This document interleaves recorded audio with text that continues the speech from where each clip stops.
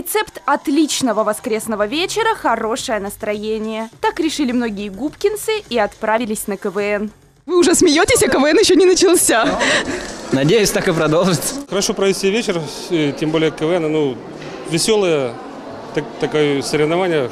Хотелось бы посмотреть. Давно-давно смотрю Маслякова, его, его, его проект, его все, очень давно, очень нравится. Я обожаю КВН, интересный искрометный, искрометный юмор, всегда четкий, классный. И это молодежь и вообще очень интересно.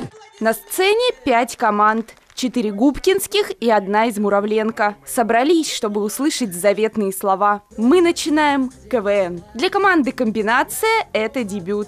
В визитке они пофантазировали, как могло бы выглядеть шоу «Холостяк». Кстати, как тебя зовут? А что? Я хочу познакомиться с тобой, глупышка. А я не хочу. Что ж, я был готов и к такому исходу событий.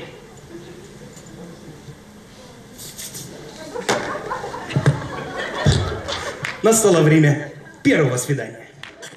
Искрометный юмор, песни и зажигательные танцы. Веселые и находчивые очаровывали жюри разными способами. У нас на игре сидит глава города, и ну, надо бы ему что-то подарить. Я знаю, что ему подарить.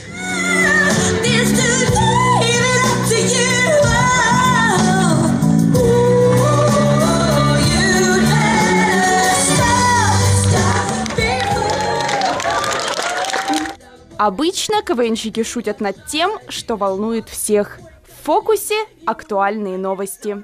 Ну, в Губкинском, может, есть какое-то новое модное местечко, куда сходить можно? Да, Пурпе. О присоединении Пурпе был и вопрос командам в триатлоне. В этом этапе КВНщики должны придумать смешные ответы. Очень серьезный вопрос. 2020 год. Наше население 29 200. 2021 почти 39 тысяч. Валера, что дальше? Андрей Михайлович, ну мы дальше будем работать над демографией. Валерий Усманов – КВНщик и по совместительству корреспондент телевидения. Очаровывает зал второй год подряд. И второй год подряд забирает номинацию «Лучшая мужская роль».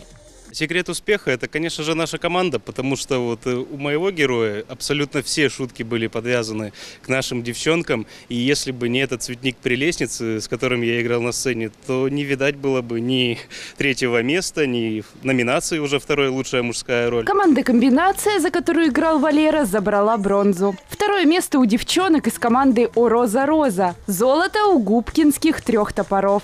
Получили удовольствие, зарядились энергией, все прекрасно. Все шутки были в тему, все шутки были добрые, задорные. И самое главное, зрителю это очень, сильно понравилось. На самом деле, наши команды КВН, ну, я считаю, что очень хорошо подготовились. Очень интересное, яркое мероприятие для нашего города. Поэтому так, также дальше будем продолжать традицию. Ну а ребятам побольше успехов, задора. Я уверен, что с каждым годом их профессионализм будет все больше и больше. Главный подарок для веселых и находчивых – оценки зрителей.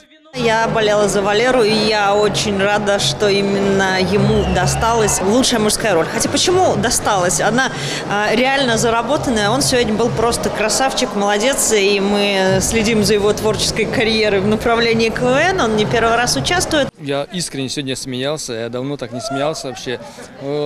Многие говорят, что муниципальный вот КВН, ну это местечковый КВН, это что-то что-то слабенькое. Нет, сегодня я посмотрел в Губкинском, насколько это было сильно, насколько это было интересно.